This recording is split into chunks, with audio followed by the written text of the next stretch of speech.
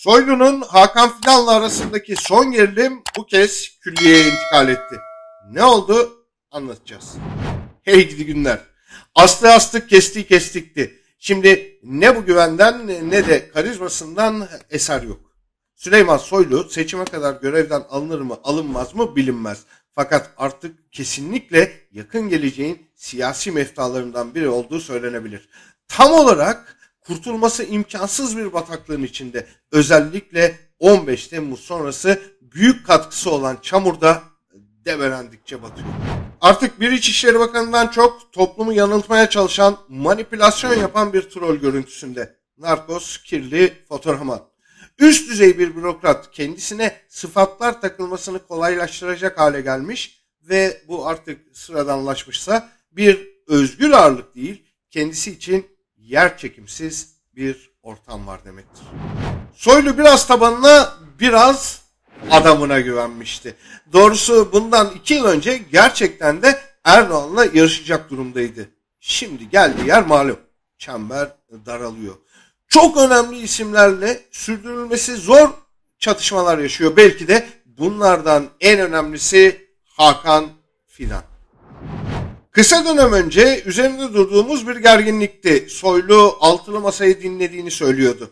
Bu faaliyetler için tek başına iş çevirdiği İsrail'den son teknoloji mobil uçan dronlar getirdiği konusunda bilgiler vardı. Bunun Hakan Fidan'la arasında bir gerginlik yarattığı iddia edilmişti. Şimdi Bulgaristan'da tutuklu olan eski özel kuvvetler komutanı Levent Göktaş meselesi üzerinden Fidan Soylu gerginliğinde çok konuştuk. Göktaş'ın aranırken kaçış ve saklanma pratiği çok tuhaftı. MIT almak istiyor ama emniyet vermiyor şüphesinde dile getirmiştik. İnan Kıraç ve Göktaş'ın aynı hikayede yer alması Sezgin Baran Korkmaz'a yol verilmesine benzer bir şüpheyi güçlendiriyordu. Gelelim son meseleye. Soylu ve Fidan arasındaki son gerginlik yakın bir tarihte yaşandı. Bunu daha iyi anlayabilmek için öncelikle Zafer Partisi Genel Başkanı Ümit Özdağ'ın büyük iddiasına bakmak lazım. Özdağ şöyle diyordu. Parti kurmak için yaptığın çalışmalar sırasında Amerika Büyükelçiliği ile temas kurmuştun ya. İçişleri Bakanlığı yetkililerinin bana ilettiğine göre sana verilen cevap önce uyuşturucu ile bağlantısını kessin sonra şeklinde olmuş. Ben İçişleri Bakanlığındaki bürokratların yalancısıyım. İyi günler Süleyman. AKP şimdi bu olaydaki ikinci perdeyle çalkalanıyormuş. Ne oluyor? Soylu bu Amerika faaliyetleri konusunda MIT'e sobeleniyor.